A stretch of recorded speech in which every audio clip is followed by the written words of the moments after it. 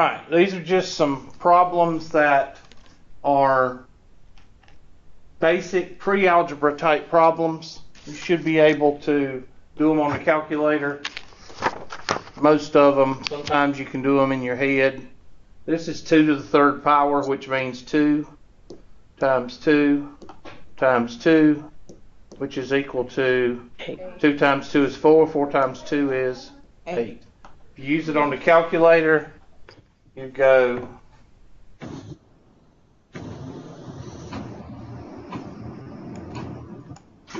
two, caret symbol, three, and that's equal to eight. Okay? Now, again, that is a basic pre-algebra problem, but what they're wanting you to do is just make sure you know how to use the calculator. Okay, this is a negative. Can't have a negative exponent. So if you can't have a negative exponent, then you just go to the next problem, right, Miss Bradley? You change it. So that's 9 to the negative 2 over 1, because all numbers are over 1. So if you want to make it a positive, where's Meredith? I thought she was coming. Um, she's not here yet. Huh, she must be running later than I am. So that's going to be 1 over 9 to the second power because you can't have a negative exponent. So you flip it. And 9 times 9 is what? 81. Now there's a reason for that, and we'll get into that in the amortization problems. And the amortization problems, there is a negative exponent. So that's why they're wanting you to refresh on that. Okay?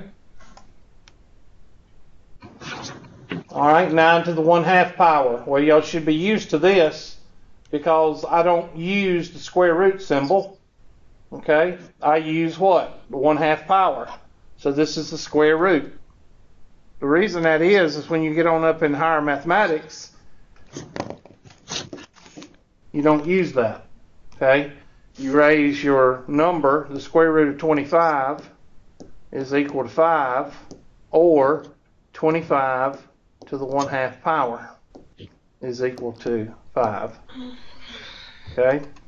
So anytime something is raised to the 1 half power, that's saying the square root of that number.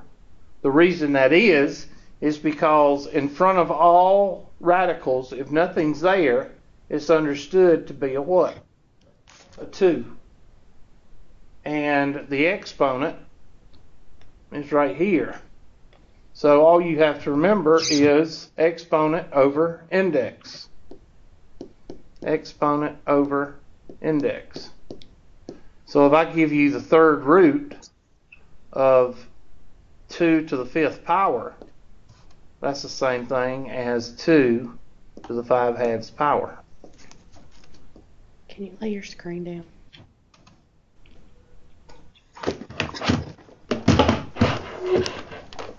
Okay?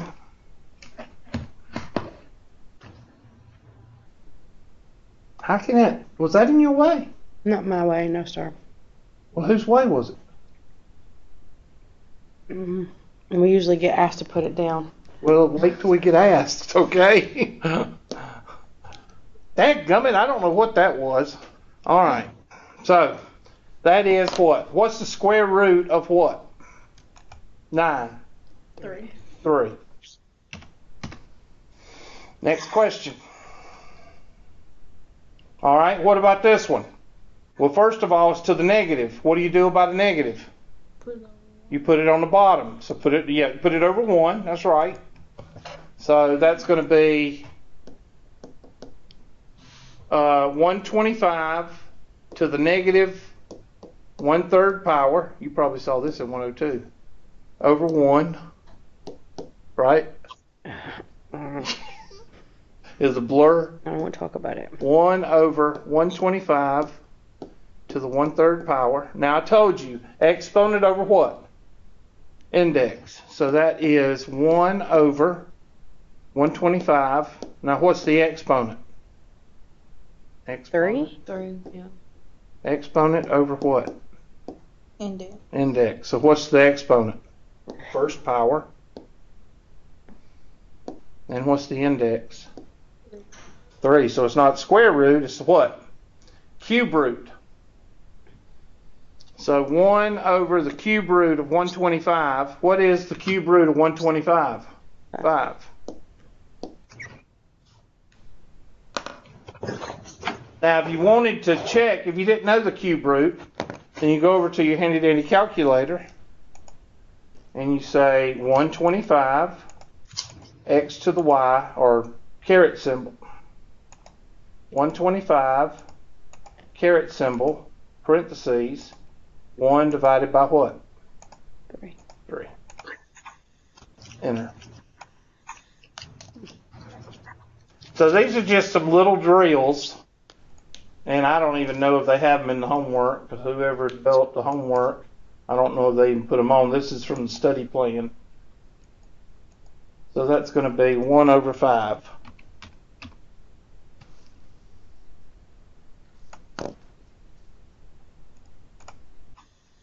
I figured I'd go over them and give y'all a little bit of a, a break. That's why I decided to go over them. All right, got the same base and we're dividing. Okay? Now, if you rewrite this problem, it'll help you out tremendously. All right, here we go. I'm going to rewrite it because you might get confused if you don't rewrite it. 3 to the 10th. I don't know why this thing's acting up this morning. It hadn't usually done this. Maybe it's because I'm writing so small. 3 to the 10th divided by 3 to the 8th. Now, somebody tell me what we have. Common denominator?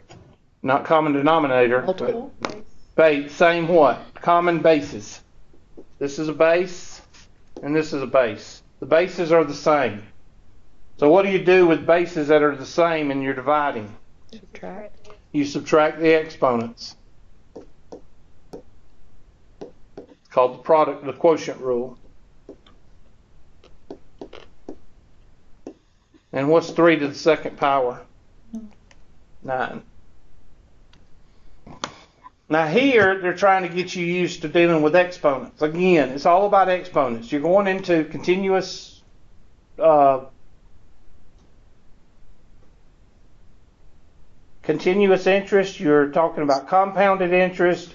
You're going to go into amortization, which is payment plans. You know, monthly payments on a car, monthly payments on a house, monthly payments on a credit card. That's amortization. So you're going to be dealing with exponents and they want to make sure you know how to use exponents, especially in the calculator. Yeah, just show up whenever. That's fine. Glad you could join us. You should have heard Zach. He was talking about you while you wasn't here. So, what is 3 to the second power? 9. Next question. All right, y'all try that one. Be careful. Remember, when you subtract the exponents, make sure you put parentheses around them because this is hook, line, sinker time. They're trying to catch you. There's a piece of bait right there, and they're seeing if you're going to take it.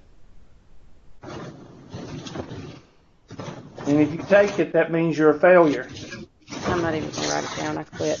Quit already. hmm As soon as you said algebra, I was done. One, oh, don't be that way. It's not, it's, it's not that hard. And plus, you'll be fueling Miss Bradley, and I don't feel like listening to that. 100. She's not even listening anyway.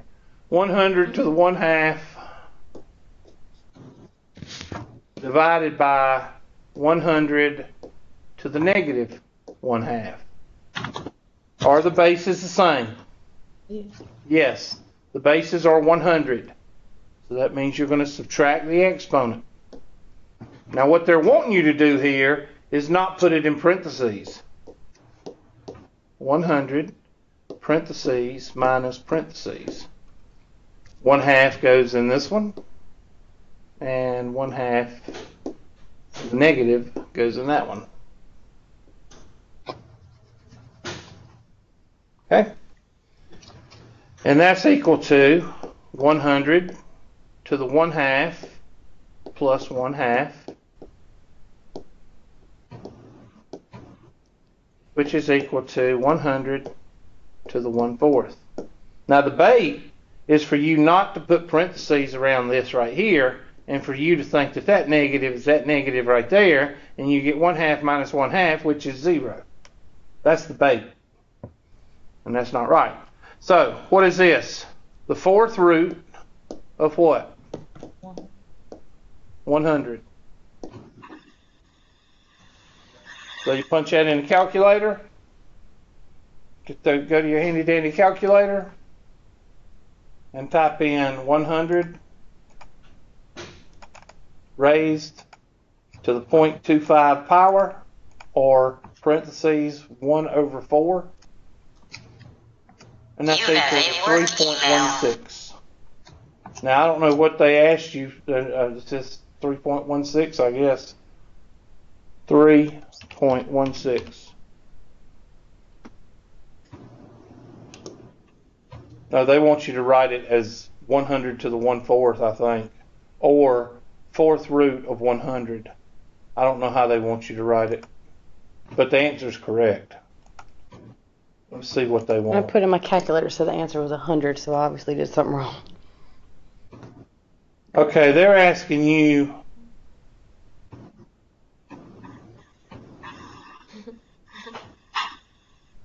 Uh, that's wrong. There is no way. too. There is no way. That's that's wrong. They're doing exactly what I just told y'all not to do. Cause if you was to do it incorrectly, this is so funny.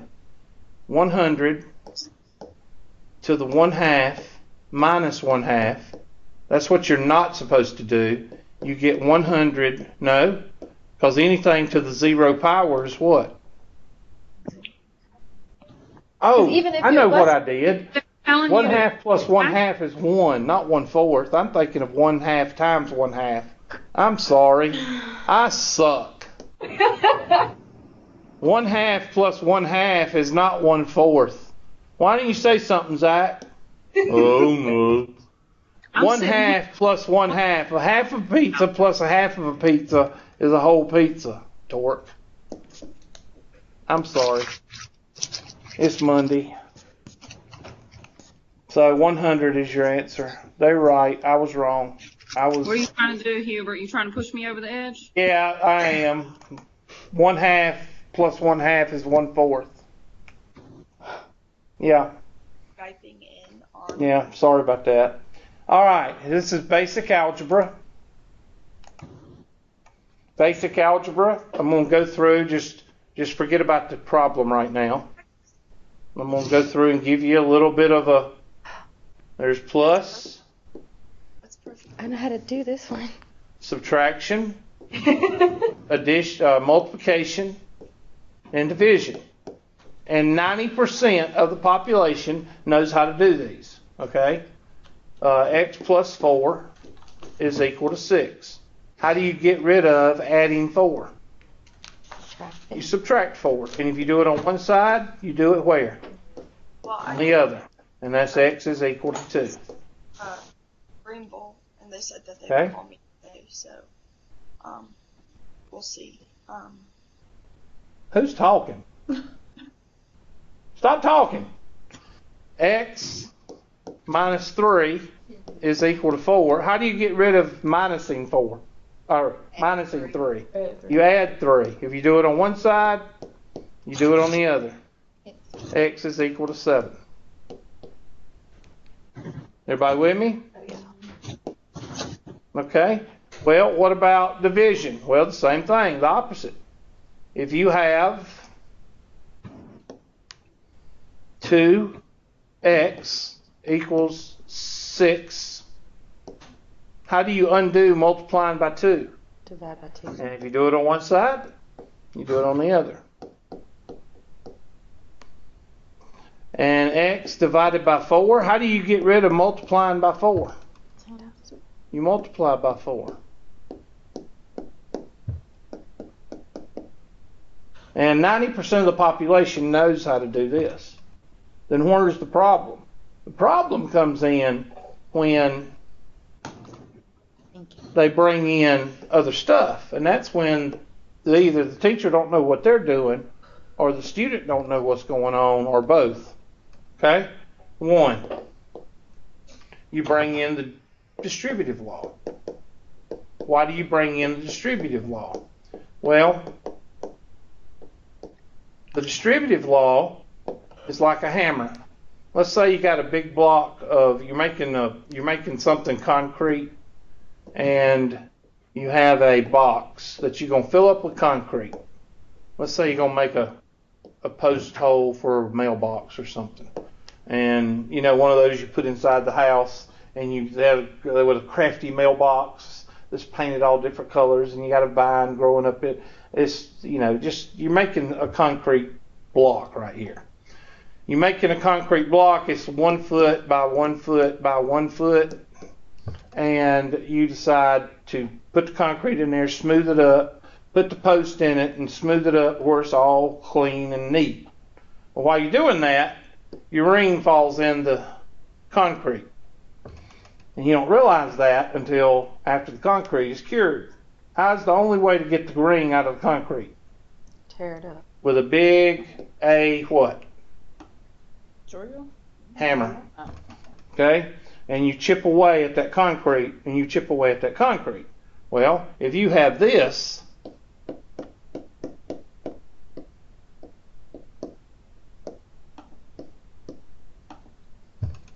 here is your concrete block.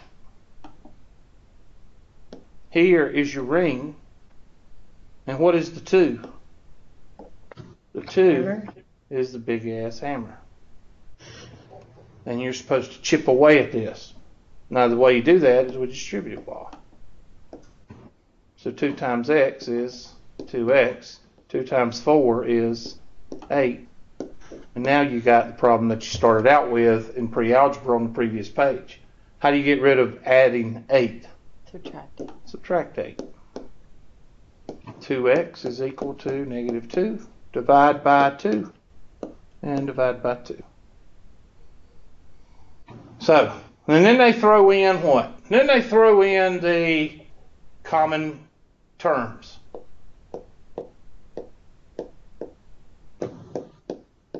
Common terms is just like boxes of cereal.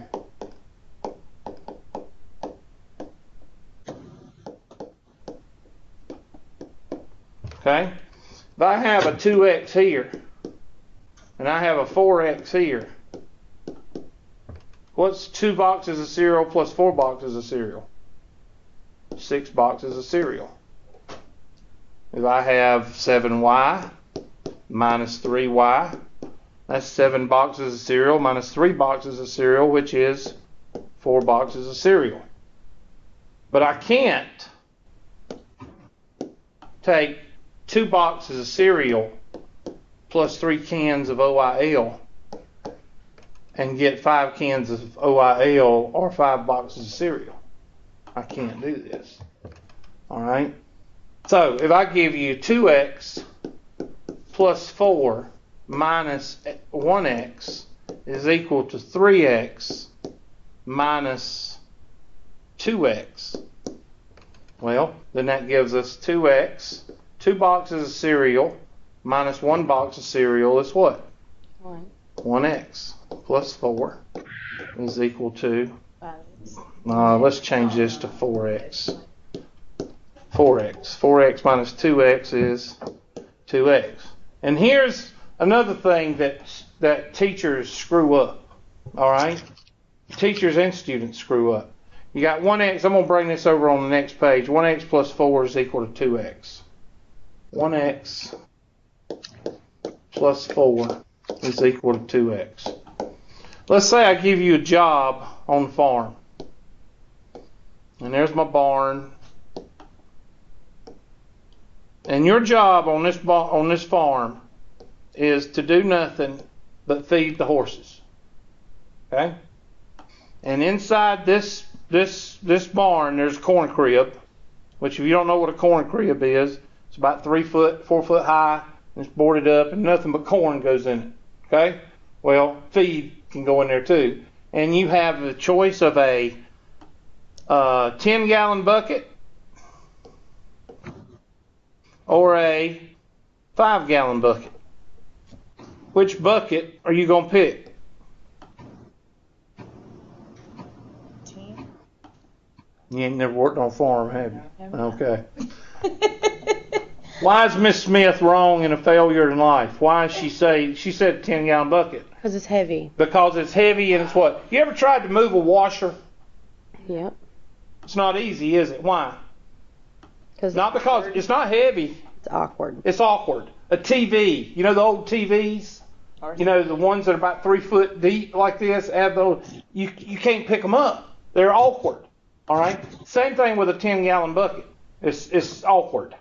So most people, 90% of the population, except Miss Smith, is going to pick the five gallon bucket. All right. Is that because we're lazy, or is that because it we can do more with a five gallon bucket than we can with a 10 gallon bucket? we can do more with it because you can't maneuver well with a 10 gallon bucket. All right? And especially when you're trying to pour it into the little horse thing that's on the fence, little one gallon horse thing that looks like this. It's awkward. So you'll pick the smallest bucket. So human nature is to always go with the smallest bucket. Which one's the smallest bucket? 1x. So you're always going to move the smallest bucket. Now, this is where teachers go into hyperfits. They say, oh my God, you're moving that on the right hand side. You're supposed to put the X's on the left hand side. You go to a park and you got two kids, Jody and Susie. Okay? And this is the, let's say, what is that park down there near Finley Park? Lindley. Lindley Park. This is Lindley Park. And Jody sits on this side. You're you're standing right here. So Jody sits on the left hand side and Susie sits on the right hand side. Everybody with me? Now you go down to Star and you go down to the park down there and you tell Jody, Jody, you have to sit on the left hand side of the seesaw or it won't work. How smart is that? How many of you tell your kids or your nieces or your cousins that they have to sit on this left hand side if they sat at this left hand side at another park? How many of you do that? Mm-hmm. None of you. Then why do you have to put the X's on the left hand side of the seesaw?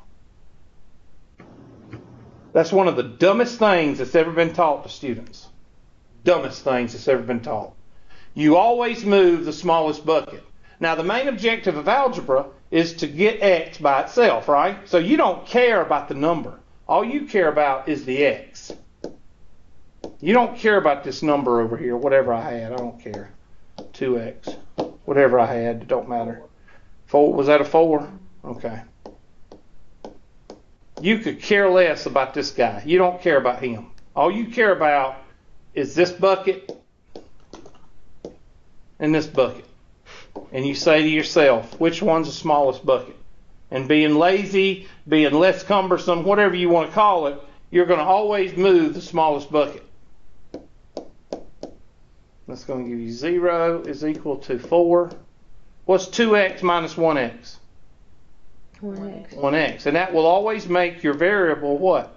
It will always make your variable positive. Now take this 4. How do you get rid of adding 4? Because that, that's a plus right there. Take it across the river, and it becomes a negative 4, however you want to say it. And you got negative 4 is equal to 1x. You don't need the 1 there. So x is equal to negative 4. And that's how you do common terms. Now, the only other thing there's left in algebra is fractions.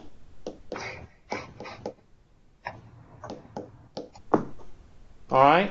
Now, whenever you're dealing with fractions, the first thing you always do is clear the, the clear the fractions by multiplying by the common denominator. Multiply by six. And that gives you 6 divided by 2 is what? 3x. 6 divided by 3 is 2x, and 6 times 2 is, and now you've got a pre-algebra problem like before.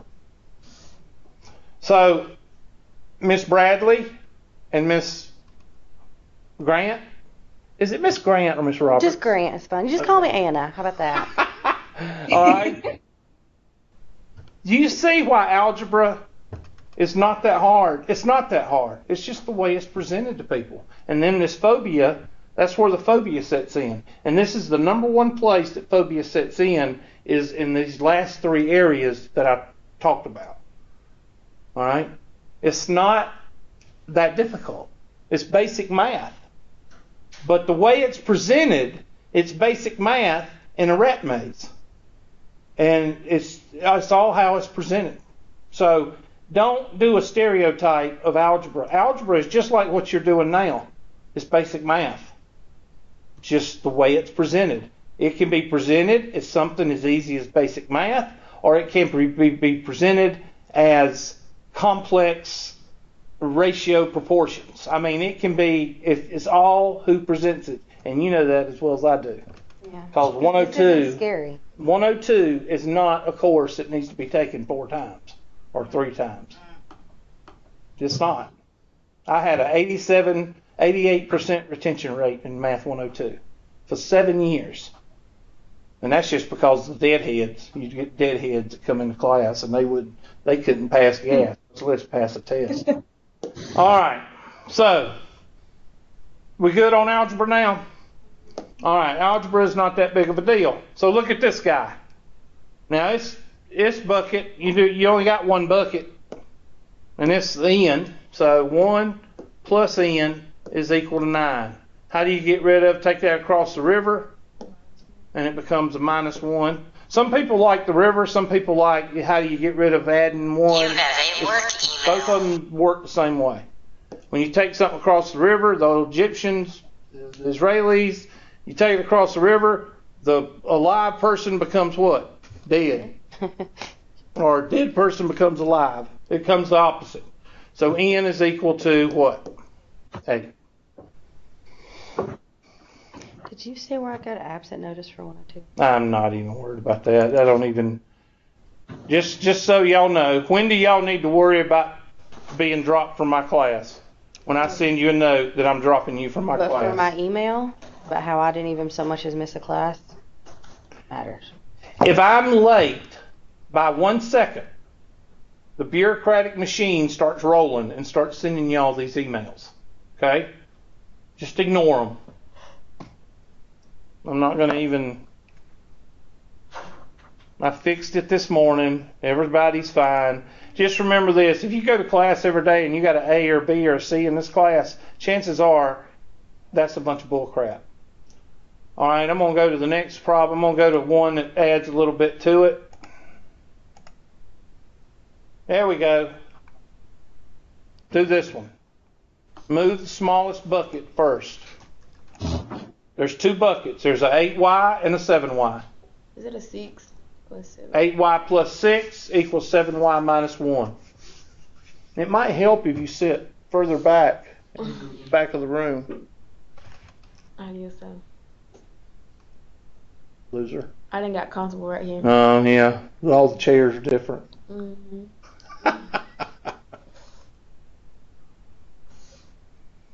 And Miss Bradley's going to explain how to do this one because she has on a flower. Yeah. All right, so 8y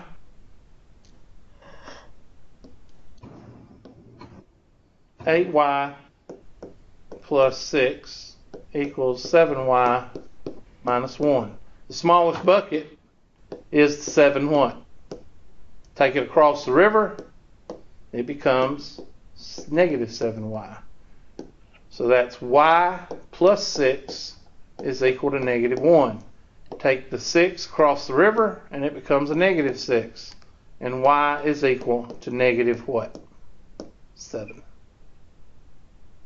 Now, how I hard have is that? six. I, wait a minute. What answer did you get? Don't be saying what answer I got. Like I got some kind of different law of mathematics. Yeah, change and switch. You can't have a negative y. So you gotta divide by negative one. If you did it backwards. Well, that's why I don't show that method. Hey Hubert, Yes. I have to head up. Okay. Thank you for showing up today. 7. All right, bye. Bye bye. Look at there. I got it right. What she did?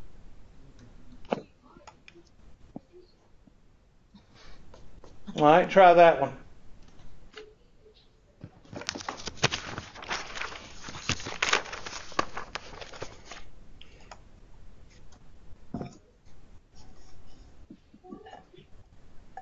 See, she she's squeaking too. What? She's closer. No, I ain't know if that plus sign on this side was division. Seven x plus nine. Yeah, they do look alike. I just the the division and the pluses on these things they do kind of collide. Seven x plus nine is equal to four x plus forty eight. I don't give her a hard time. I just give you. I can tell. I can tell. I gave Miss Smith a hard time before y'all got here today. Why can't I subtract that? Seven x plus nine equals four x plus forty eight. What's the smaller bucket? Four x. It goes across the river. It becomes negative four x. So that's three x plus nine is equal to forty eight. The nine goes across the river. It becomes a negative nine. Three x is equal to what? Thirty nine. Yes, sir. Divide by three. Thirteen. uh, What'd you say? You broke up That right? again. What? I got 13, 1, 3. See there? 3. Okay, now what's that? That kind of pokes a hole in your theory that you can't do algebra. You just got one right. I thought we weren't doing algebra. To be honest. Well, this is a little drill. She's talking and I can't hear her. What's wrong? What's the matter with her? She's muted. She turned off her mic so so we wouldn't hear her. She's probably cussing you out. Yeah, she probably is. Probably. I, not probably, definitely. This is just a drill. You're not going to be tested on this stuff. This is just so you can work the problems on the test. Oh. Okay? Oh, on the homework. I don't think this is on the homework. This is on study plan. I don't know if they put this, whoever the teacher is that did the 120. I don't know if they. The, This is algebra for like a third. no, actually, this is some Like the algebra too. I learned seventh grade. Well, you can do it. I don't want to hear that you can't do it anymore. All right, I'm gonna move on a little bit. How you want to do it now? No, I don't want to do that one. Okay, this is your next type problem. How do you undo something squared? Take the square root of it. The opposite of a square is a square root. Or you can, I'm not going to go there. X squared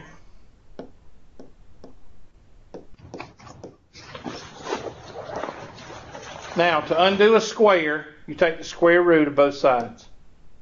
And square root of x squared is x. And the square root of 49 is 7. Now, you can say that the answer is positive or negative 7. But in most most contexts, they just want the 7. Okay? I don't think they want you to put positive or negative 7 here. I think they just want the 7. I think they will ask you for all solutions if they wanted the negative. It'll say, please write down all solutions. Well, we'll, we'll try seven. Okay. There we go. They want positive or negative seven. Okay. Thank you. So they want positive or negative. So you hit this button right here and 7. My lord. Okay, so they want both. Now, do this one. This one's got an extra step, so you do it just like we did this one. You got to get rid of, you cannot, this is a, what is this? This right here is a cement block. Whenever you see parentheses, that's a cement block. Now, you don't have a hammer because there's nothing in front of it except a 1. A 1 doesn't do anything because that, that exponent is to the second power. All right? So you have to get rid of the exponent. And you get rid of it by taking the square root. x minus 6 is equal to positive or negative what? Eight. 8. Now be careful here because you've got to bring the 6 across the river, and what does that make it? A positive 6. Now, what is positive 8 plus 6? 14. What's negative 8 plus 6? Negative 2. 2. So you got two possible answers because of this right here. And you got to remember 8 plus 6 is 14. Negative 8 plus 6 is negative 2.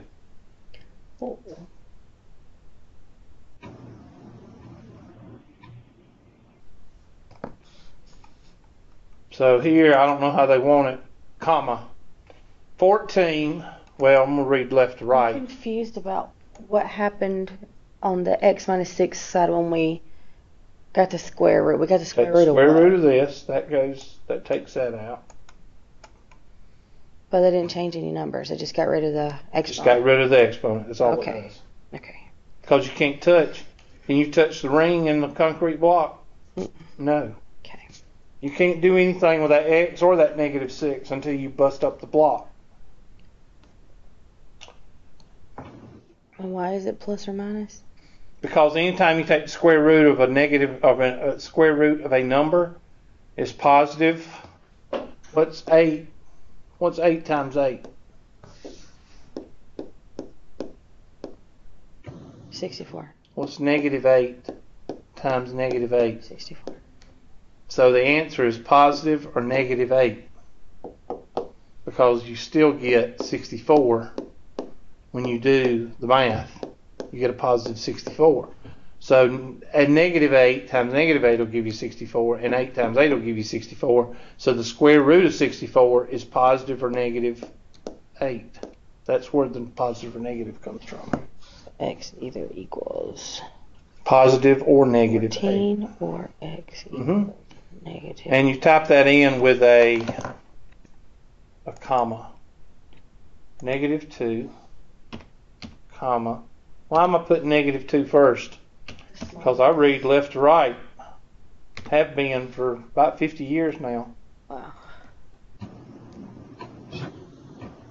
Okay, Yeah, take the square root of that one. That's the same type problem. I lost that one.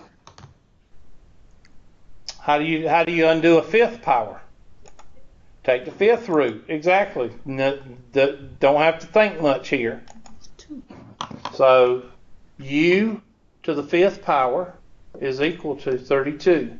So instead of taking the square root, you take the what? Fifth root. And if you do it on one side, you do it on the other. Now, should you know the fifth root of 32? Not many people do. I'll just go ahead and tell you it's 2. 2 times 2 times 2 times 2 times 2 is 32. So I'm just going to give you that. So u is equal to 2. You're a math nerd? And these Oh, are I just love drills. Really? These are Ten just, was young. she had a good she had a good teacher. That's why. Oh yeah, she was great. I love That's high school. the difference between a bad teacher and a good teacher. Don't tell me that this stuff is hard. It's not hard. It's how it's presented. Great. Where'd you go to school? Who was it? Ms. Miller, Kara Miller. I believe I know her. I gotta I say, took if this uh, had been my math up 102 to class, I would have been in tears by now. I mean, really, honestly. Not exaggerating. All right, simple interest. Here we go. Now these are homework problems. All right, so do that one. You invest $2,000 in an account that pays simple interest. So you should take your handy dandy highlighter right now and you should highlight this right here because on a test that's going to get you if you don't see it.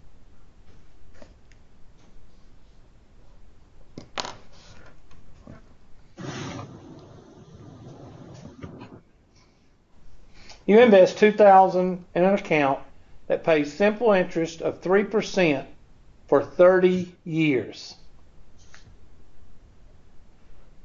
Now,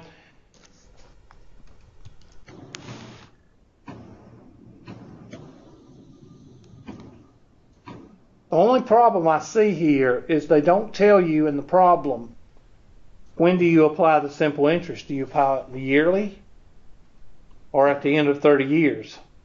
That's the only problem I see with the question. I'm going to do it both ways, and then we'll see.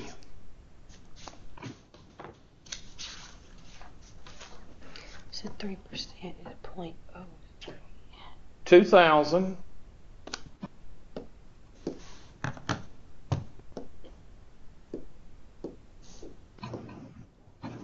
times 3%. Well, that's not that's not hard to calculate because what's 10% of 2000? Two hundred. And what's 1% of 2000? What? Okay. Come on now, you just said 10% is 200. Oh, uh, So 1% would be five, five hundred, five, no, I don't know. This is this is why people can't do simple math. What's what's the deal when you divide by hundred? Tens or hundreds? You move the decimal what? One place. All right. So if you if you take ten percent, um, yeah, ten percent, you move it there. All right. So what is one percent? Twenty. So what's three percent? If one percent is twenty, what's th- what's three percent? 60. 60. Good. So if it's done at the end of the year, it would be 2000 and what? $60, and then you multiply that by 30 years. So somebody do 2060 times 30. Well, 2060 times 10. Isn't it just 60? 6180. 6180. Uh, say again. 61800. 61,800. Well, I can tell you right now that's not right because simple interest is not going to give you such a big hunk of money. All right? So they're doing it at the end of 30 years. That's what they're doing. So they're not doing it times one year and then multiplying it by 30. So, and this is common sense. You know that simple interest, if you're going to give a friend a loan, are you going to end up getting 61,000 at the end of 30 years? No. So 2,000 times 3% is equal to 60. 2,060. And at the end of 30 years, you got $2,060. They owe you $60 in interest. Now that's that's the two types of questions. This is for 30 years, uh, compound or not compounded, but calculated yearly. And this is just over 30 years. It's 26. Is that two, 2660? 30, No, it should be 20, 2060. 60, 2060. Over 30 years. Now, the way the, the question is written, it can be taken both ways. So that's why I did it, and we're going to see. I think the answer is 2060.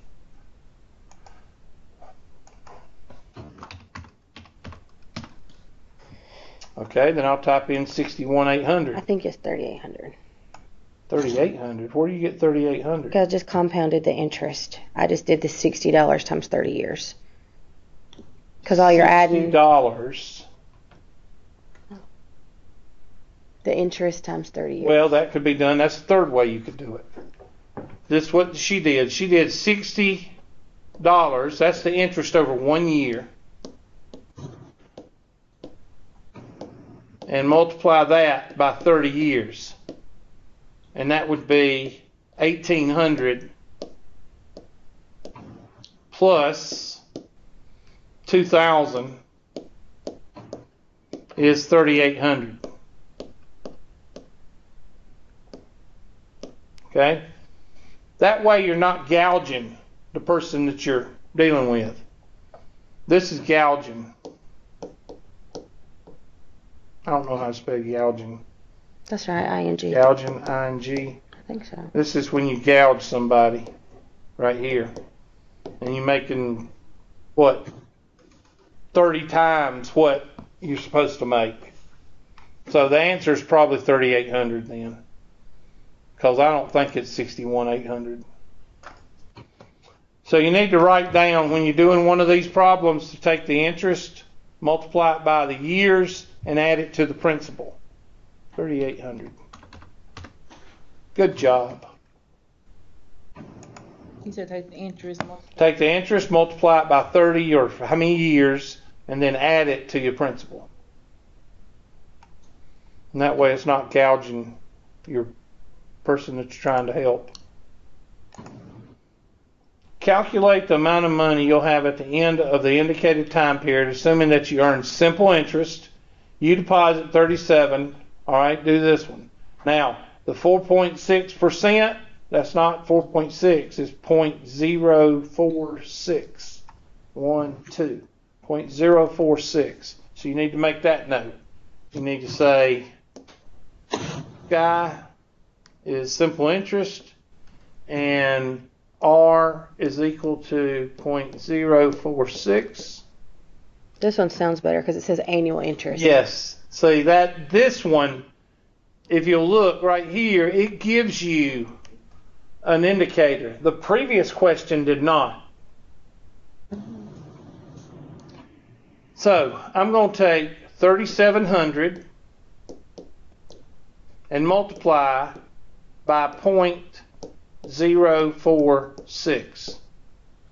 I'm going to tell you right now, the only way you can do this is with a calculator because you'll work yourself to death if you try to do it without a calculator. So,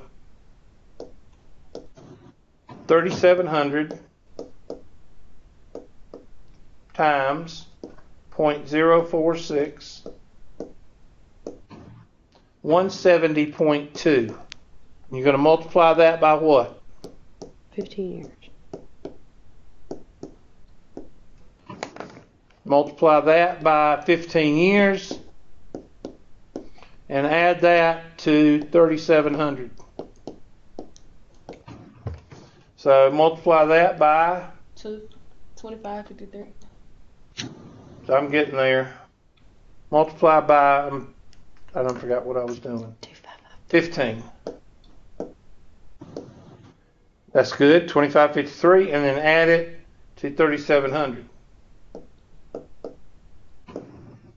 Now this question is written a whole lot better. It's not as vague as the front, first question we did. What I get? 6253.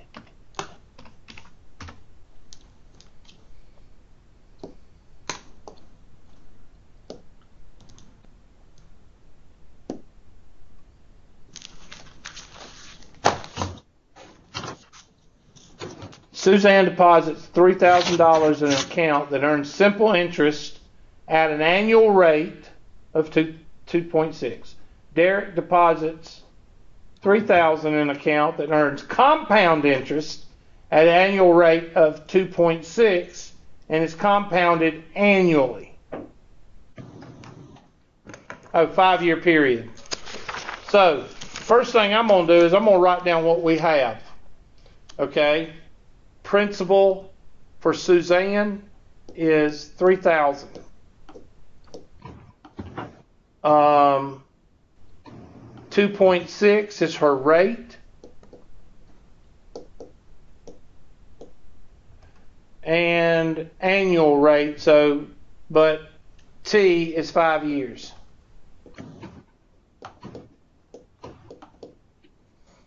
Now for Derek, the principal for Derek is 3000 compound interest annual rate 2.6 N is equal to 12. That was compounded annually, sorry. 1.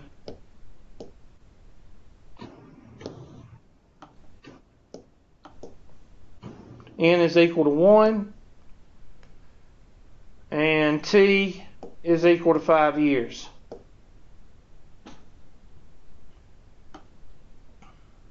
So the first thing we're going to do is we're going to figure hers.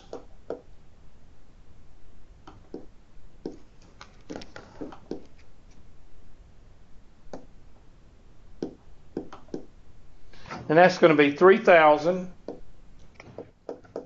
times 0.026. I got 78 times what? 5. And add that to 3,000. I got 3390. What'd y'all get? I'm doing year by year because it wants that chart. Uh, 390, yes, sir. The fifth year.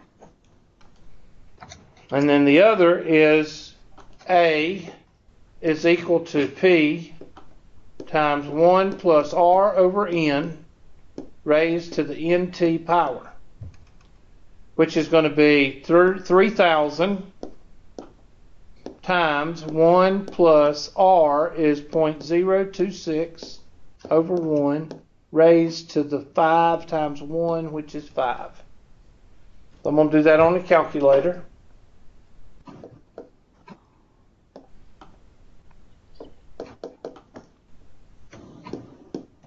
So that's 0.026 divided by 1 plus 1. Raise that to the fifth power and multiply that by 3,000. Mm. 34,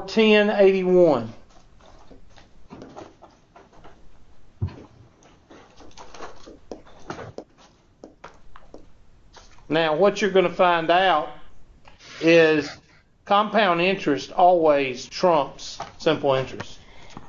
To do this problem, we have to do the year mark of everyone. Yeah. So for the first one, for Derek, would we do 3,000 times 1 plus 0.026 over 1? Raised to the first power. Okay. One And then times one, for two the times. second year, it'd be 2 and 2 and 3 and 3. Okay. Yeah, this would be one times one, uh, one times two, one times three, one times four, and one times five. That's the only thing that would change on Derek's. Is this right here? So make sure I understand right. Will you write it down like if we're doing the second year? It would say 3,000 times. Okay, this doesn't change. That doesn't change I, at all. yeah, I'm just trying to make sure I'm plugging it in right. So that'd be one times one, two, one times two, one times three, one times four. Well, if times n five. times t, time would be two years, and n would also be two, right? So it would actually N be one. It's only compounded what? Compounded annually. N is equal to one.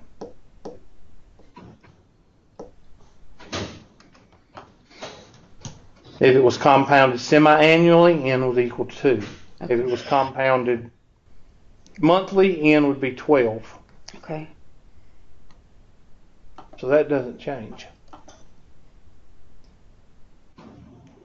The only thing that changes is since you're doing it in a chart, the only thing that changes is this highlighted right here.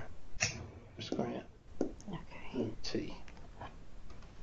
Okay. That's the only thing that changes. And make a note right here. Compound interest will usually trump simple interest. And what usually trumps compound interest? Um, Continuous.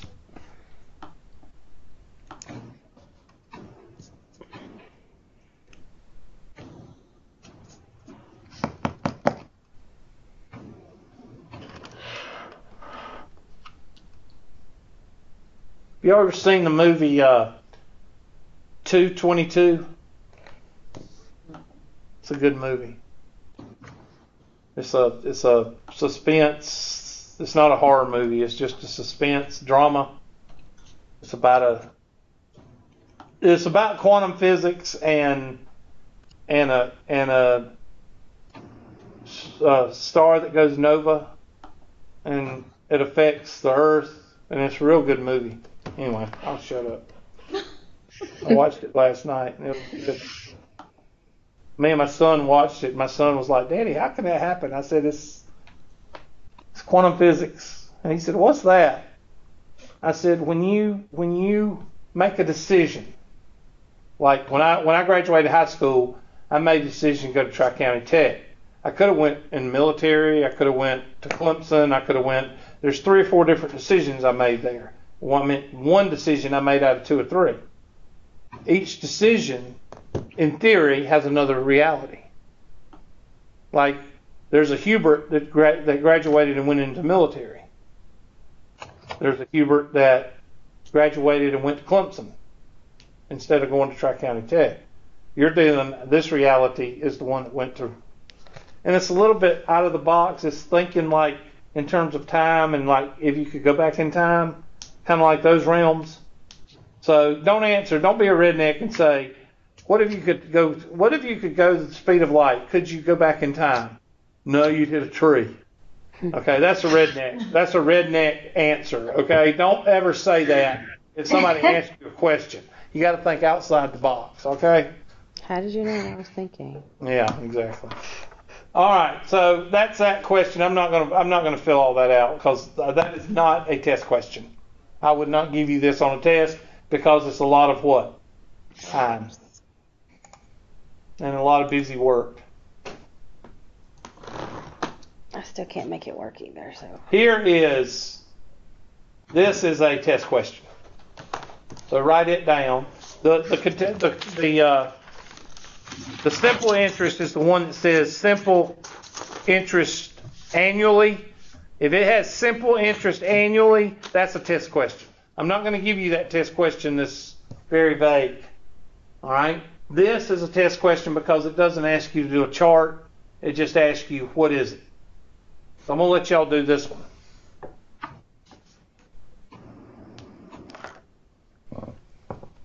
have you heard from Sherry Moore from 120? From who? Fr- Sherry Moore from 120. Yeah, she types in. Why? I, we were supposed to hang out on Sunday, and I haven't heard from her, and I was just worried if you heard anything. Uh, I She hear worked from her. like 85 hours last week. Yeah, So just, I was worried she works got like 60 accident or hours a day. Yeah. There's only 24 in a day.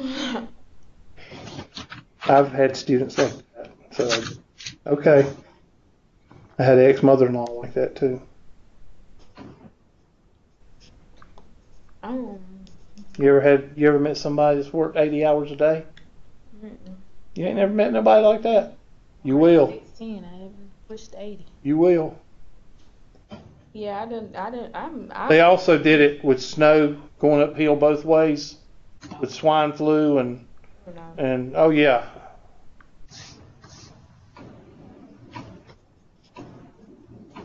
Hello, Hubert. Your evaluations are open. Mhm. That's one of the lead bureaucrats at Tri County Tech. He knows I ain't got no use for him. We had a meeting one time, and him and I locked our arms over the horns, and ever since then, he don't communicate with me very often. I think he got mad when I said, "Why don't you get a real job?" Did I tell you I got a job at Clemson next week? Good. No, you didn't. I'm glad. I'm nervous. It's very competitive.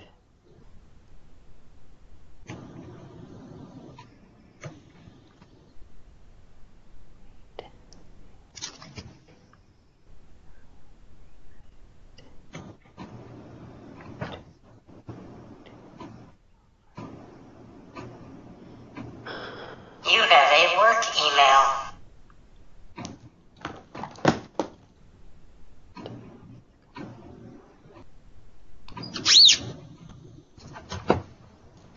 So for N, it does it once annually. So is N one or is N seven since it's seven years? T is seven years. Remember I told you in the notes, look in your notes. I am. So I'm looking. T is always in years. Annually means one. N is one.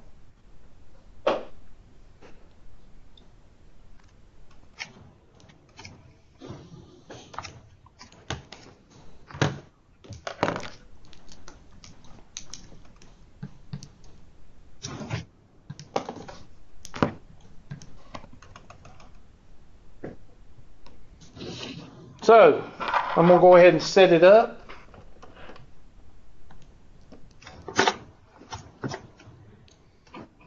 First of all, A, I'm going to put the formula over here. A is equal to P 1 plus R over N raised to the NT power.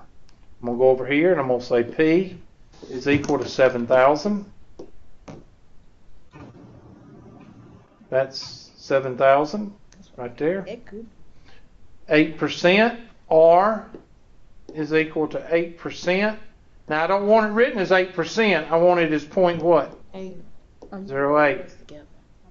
Okay? I guess That's that. And T is what?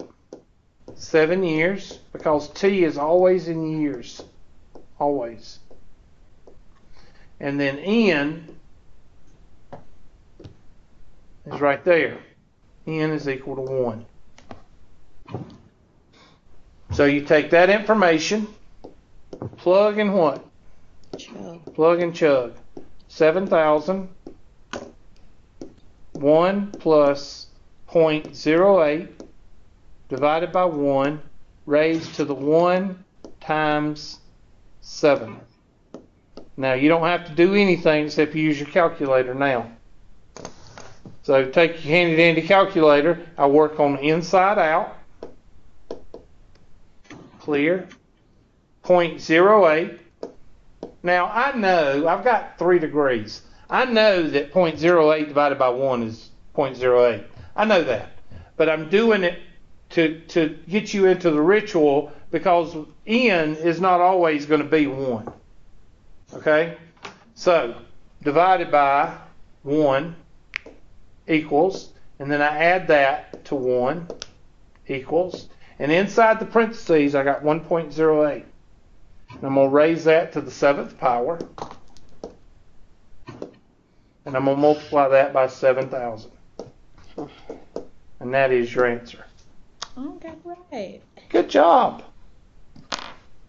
In a row. Miss Bradley, did you get it right? Did you see what he did? Yeah, but I don't know what the hell I'm doing. You've got to do, okay. You, okay, you have just said why people get these problems wrong. They've got to get it down in the calculator. All right? So we're going to do this problem again until everybody gets the keys down in the calculator. The process, the methodology, and the calculator. You don't miss. Did we do any math here as far as brain math? No. The only brain math that we did is 0.08 divided by 1 and 1 times 7. We did that in our heads. That's it. The rest of it is calculator. So if you don't have the calculator down to a, you know, doing this, then it's not going to work. So we're going to do it again. So let me go over here. And this is a very, very, very common thing that happens in this section. So that's 11,000. Oh, shoot.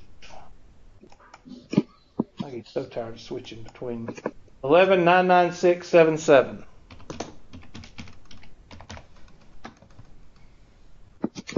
Next question. There you go. So when would the N not be one? When it says monthly, semi-annually, daily, quarterly, Oh, yeah. it'll say it. Use the compound interest formula to compute the balance in the following account after a stated period of time, assuming interest is compounded what? Annual. Annually. So you take your highlighter. So N is equal to 1 here.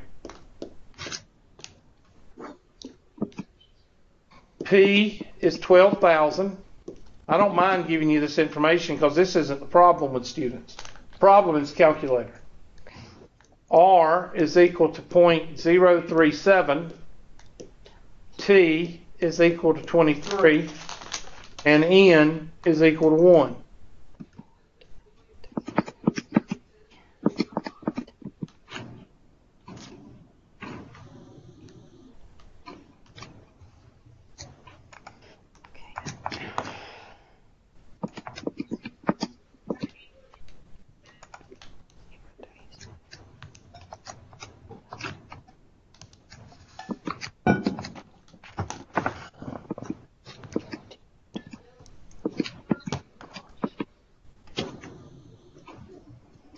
Another person signed up for my Kickstart this weekend.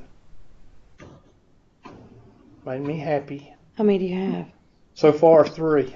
The people are stupid. They don't take that class. I know. I'm telling you, anybody that's coming to college for anything. I know. Well, not only that, high school, homeschoolers. I mean, the semester's starting. People need to. I would highly suggest you do the 110, Zach. If you think about it. Yeah. You have no idea what I'm talking about. No, I know what you're talking about.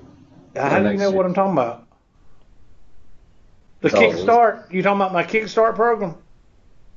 No, you're talking about 110. College Math 110. That's that's. Uh, you need to look up. Go to my Facebook and look up my uh, Kickstart program. I offer a one week or two week, depending on how long you want to do it, in college algebra, and that would be perfect for you because that's what kills students in first semester calculus. They forget their algebra. So I'm just saying you might want to do it if you're going to take calculus. You might want to do that one week refresher. How much is it? Yeah. It's not one week. It's it could be one week, two weeks, or three weeks, depending on how long. It's about about ten. Yeah. Excuse me, ten modules, ten videos, all the way up from pre-algebra, all the way up to college algebra, solving systems of equations. So Hubert, yes, Okay. what'd you get for the last the, the last answer? Can you go And- back to oh Please. lord, I got it. What's your name? the last I- answer. I- What was it? One one nine nine six Hold on. The last answer was one one nine nine six nine nine six point seven six nine nine. point seven seven. Okay, I got seven six. I got seven seven Yeah. seventy. seven six nine nine whatever it came out to be. Yeah, you got it. You got it. Does it count for anything for Tri County? Do we get a credit? How much? But students take the placement test and just score better. How much is it? Y'all major engineering. Don't tell them. I'll wait till they go see it. Well, I'm thinking about taking it just for my own good. Oh yeah, uh, the the the college algebra is a hundred. What's your major? Um, undecided. I graduate. She's undecided. I'll tell you why she's undecided. What? It's because she had a bad experience with a 102 teacher, and she don't know what her own capabilities are. Well, I got accepted to medical school for E ETSU, but because of a craptastic teacher, I got an erroneous failing math grade for 102. I got a 57, and it took me over a month to get someone in administration to look at and review my case, And she had an A. and I ended up with a 94 in the class. Was my true grade. But because it took them so long, I missed my application entry and acceptance into the nursing program and medical school, and I lost six scholarships, and I lost my position into the Women and Children Succeeding program, and my entire future went. So now I'm kind of in limbo. At the end of this semester, I graduate with my Associates of Science, and because I couldn't go into the nursing program on time, at the end of next semester, I'll have my Associates of Art, but I have to wait a whole semester before I can reapply for all my stuff. Why do you have to wait though? You should be able to apply for the spring for the nursing program, shouldn't you? Yeah, but you can't do that until fall. And they screwed her up. In September, yeah. So I have to be in limbo for an entire semester before I can. That's the only thing about the nursing program. If one person screws you up, up, That's true. the whole nursing program just implodes on you. You ain't, you ain't got a chance, and that's what happened to her. I believe it. They was gonna screw me. I didn't think I was gonna get in the program this semester, but um, they screwed me. I was, I thought I was gonna get my associates of science, And my, I got missing vowels. I didn't even get to take. They said I only had to take like a computer class to get the associates of science thing. Well, And I was gonna have to wait a whole semester for that because somebody didn't tell me I needed a computer class. Well, Okay. the exact opposite happened with me. She told me that I needed another English and another math, when in fact I had well over those requirements. So I don't get to walk until May of next year. And she's fighting that now. All right, so here we go. 0.037 divided by 1, y'all know that's 0.037. And then 1 times 23 is 23. So I'm going to just skip a couple of steps by doing some mental math there. And we get 1.037 raised to the 23rd power multiplied by 1200 or 12,000. There you go, twenty-seven thousand six hundred seventy-five point thirty-two. Now, do you see why the calculator is so important? If you're all over the place with the calculator and you don't have it as a streamlined method, you're going to second guess yourself. Twenty-seven six seven five point three two.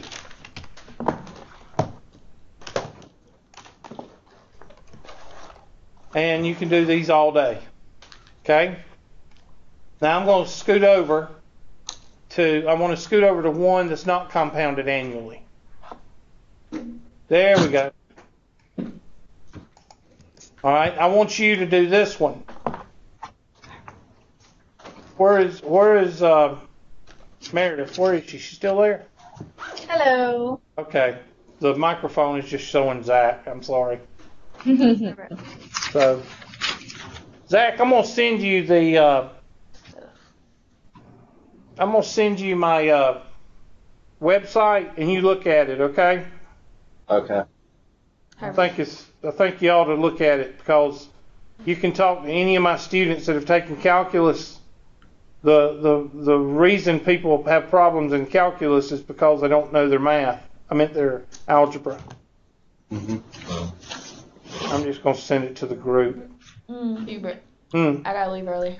Okay. Fine. Get out of here. Pick up my root rat. Okay.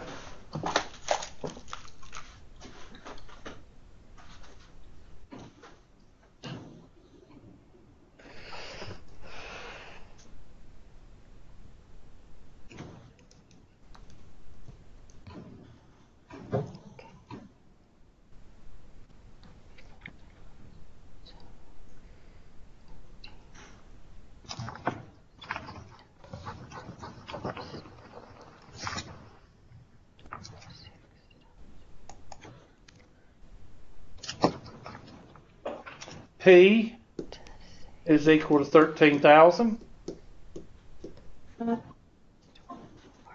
T is equal to six years.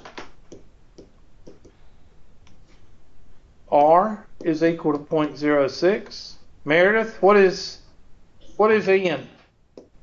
Um, four. Good job. Yay. You're a winner.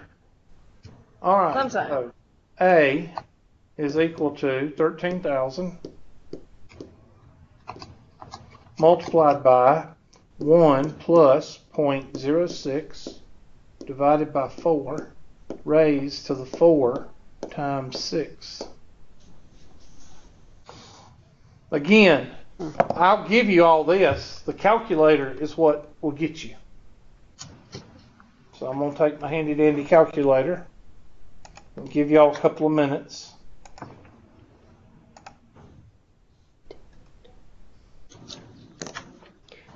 Some crazy shenanigans right there. That's why you got to get it down to a. Please stop sneezing. Thank you. Look at this. If I try to do my total of 0.015 to the 24th and add 1, it just gives me 1. What the fuck is that? Because it was some crazy exponent. Do you get something Huh. right too? I don't know. Let me see what I get. Eighteen thousand. 0.06 divided by 4 Do you do these first? times I just did plus that. 1 Uh, raised to the 24th power. That's because I'm stupid.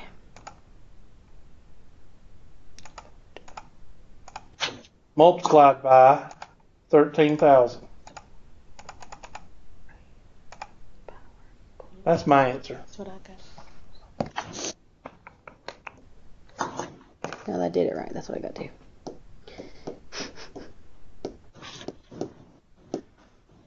See, what I'm doing is I'm going in and I'm compounding the interest year after year after year. And when I have a problem that's only six years, I can do that. And I come out with the same answer. Sometimes my sense is a little bit off, which I think in Why are you that, doing it separately like that? that's the way my brain chart? why I'm not good at this kind of stuff. I see the Okay. formula. I mean, I see and I understand what you're doing. Okay.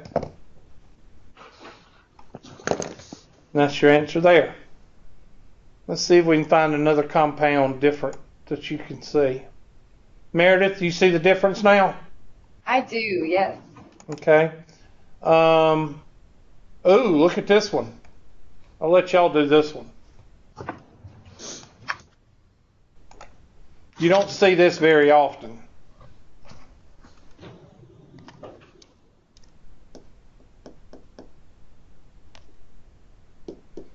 Banks don't do this.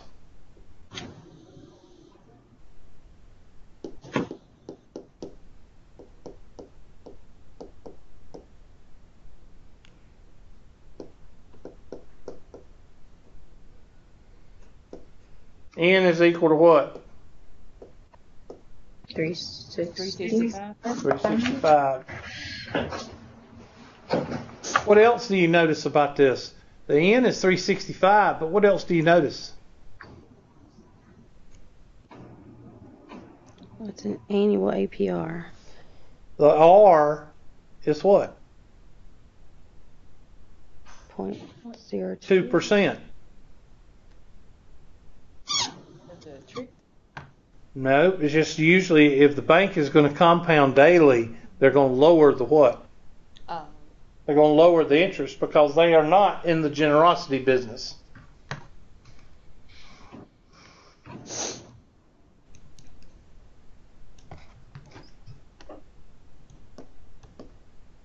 Sixteen thousand. One plus point zero two divided by three sixty-five, multiplied by three sixty-five, multiplied by three.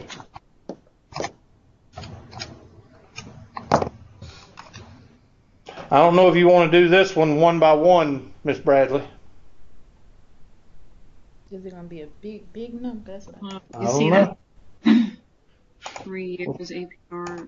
Yeah, you see daily compounding. That's. I mean, I could do. it, Don't get me wrong, but who Yeah, knows? but it'd take you forever. Point zero two divided by three sixty-five equals one equals raised parentheses three times three sixty-five close. I'm gonna enter multiplied by sixteen thousand. Oh my God, what the Felicia is this? So not that much money. Why? Because they lowered the interest rate. Nothing's what? Nothing's free. free. They're not going to give you the baby with the bathwater. You know, you can't have your cake and eat it what? Can't have your cake and eat it too. They're not going to give you 8% interest compounded daily. They're not going to do that. 16, 8, 989.36. Sixteen nine eighty nine point thirty six. I got a check mark. Let me find the compounded continuously for you. Or continual whatever. There we go. Now look in your notes because I gave you this one last week. The formula. I think, if I can remember correctly, because I don't use it that much. This is less used. It's usually used by bigger bigger banks. A is equal to P E to the RT, I think. That's right. Somebody check. That's right. Okay.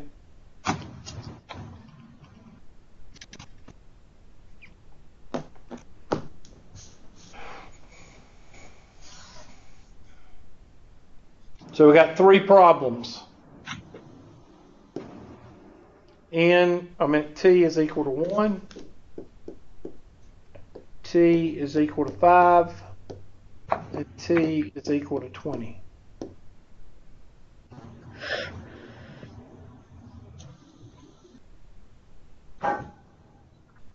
Continuous constant.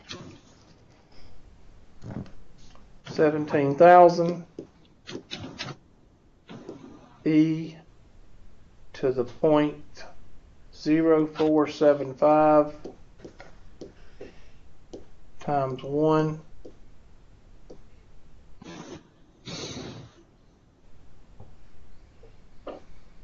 Seventeen thousand times e to the point zero four seven five times five seventeen thousand e to the point zero four seven five to the twentieth or times twenty.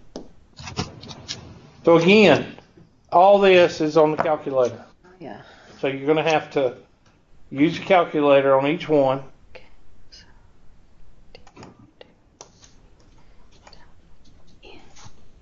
So second function, natural log. I can do the first one because I know what 1 times 0.0475 is. It's 0.0475. And enter multiply that by 17,000.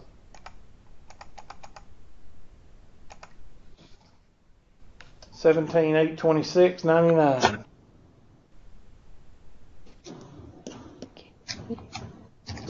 Eight twenty six point ninety nine.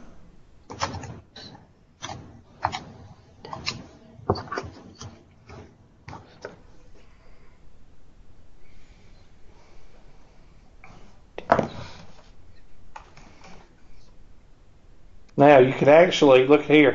This is a trick I learned in the war. Second entry, second entry.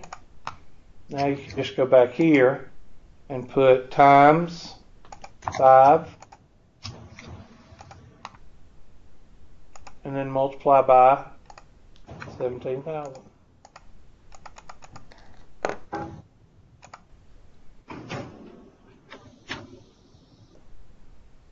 Twenty-one thousand five fifty-seven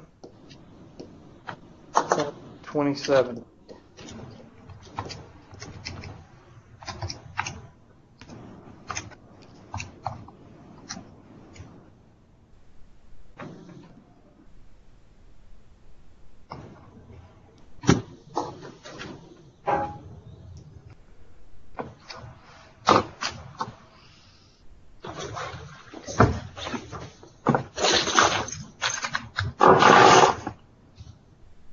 Okay. And last one, I hit second function. Second entry, second entry. Now I type in instead of the five, I type in two, second insert, zero. Of course, you don't have to do that. I'm just saving myself some steps. Multiplied by seventeen thousand.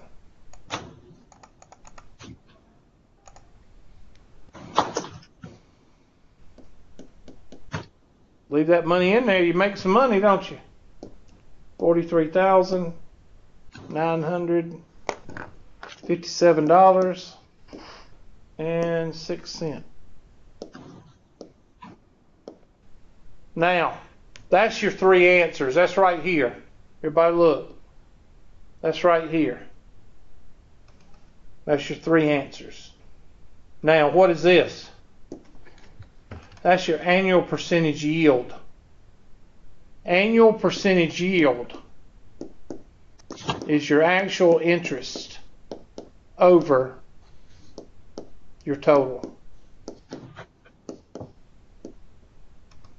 So over here, how much interest we got? 0.99 divided by 17,826.99. Somebody do that for me. I'll do it. What did you write that? I don't see it. Where? The um the interest over the total. Where is that at? Right here. Priority one message coming in on secure channel. Oh, you so, wrote it at the bottom. Oh, down here, yeah, eight twenty six. 0.99 divided by 17,826.99. 4.64%. 4.64%. I'm only a little bit confused. I'm sorry. How did you get 826.99? Okay, what's the interest? What did the bank give you for putting that seventeen thousand dollars in the bank? Eight Eight twenty-six. How much did you put in the bank? seventeen thousand. You put seventeen thousand in the bank. You with me? Yeah. How much did you make? Priority one message coming in on secured channel. Oh, okay. I okay, got it. that's the interest that you accumulated. Okay, that all makes right, sense. and you divide it by the total. This is the total. So Okay. eight twenty-six ninety-nine divided by seventeen eight twenty-six point ninety-nine, and that gives us. Now, is it close? Yeah, most of the time it's going to be close to what they're giving you. Okay, so y'all do these two. I'm going to erase this. Oops, no. I'm going to erase this. Y'all do these two. The interest over the total.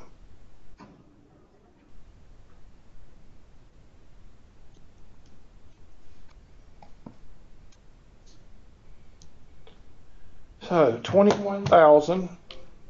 Oh, gosh.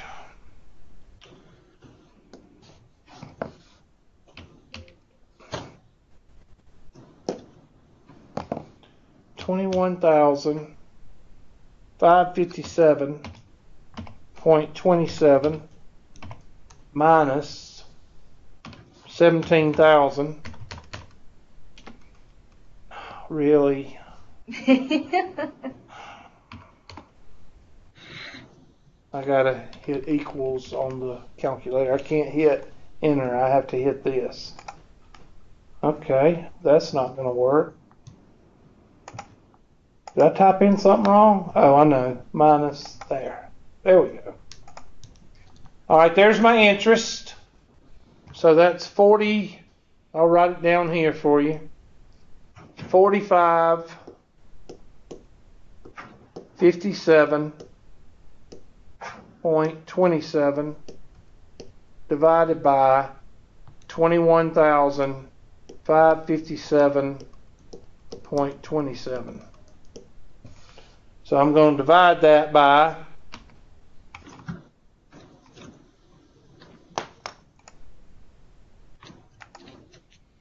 divided by 21,557.27 and enter 2.11%. No, 21.14%.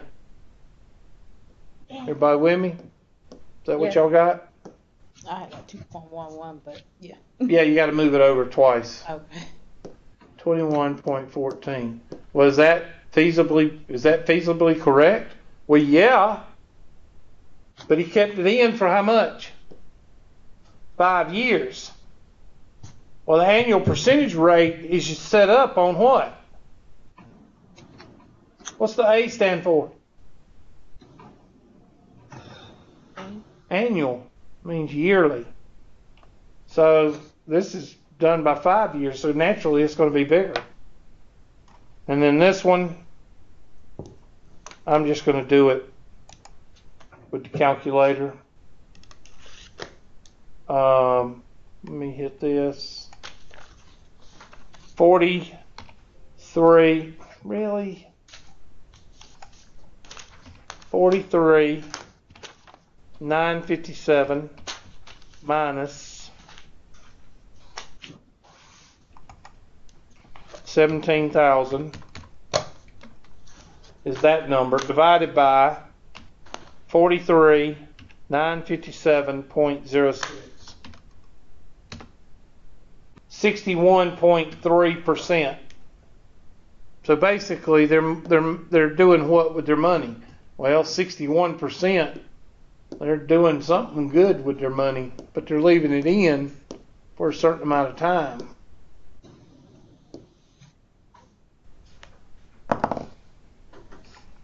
I don't know. Let's see how they answered this. Balance in the account after one year is 17,826.99. five years is 21, 557.27. Really?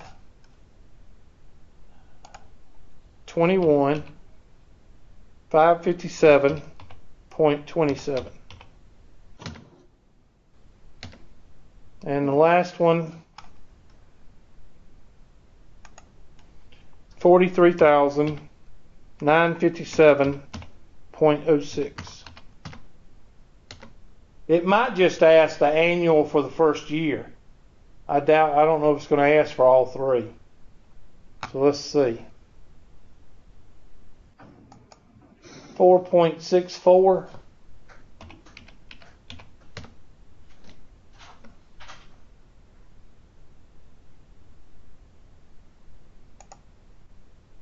absolute increase, starting principal. I might need to put it over seventeen thousand. I might have messed up there. What's eight twenty? Let's do eight twenty six. Eight twenty six point ninety nine divided by seventeen thousand. I might have messed up there. Four point eight six. Let's try that. I got one of my balances wrong. That's it. I'm sorry. So it's not the new amount, it's the original amount. So make a change on that. Your APY, APY, that's why I'm not an accountant. APY is equal to your interest over your principal. Okay? Interest over the principal, which I was using the 17,826. This is 17,000. So let's redo this one. If it, it's going to ask for to do each one. Next question. Yeah, it only does the first year. So you don't have to do all three.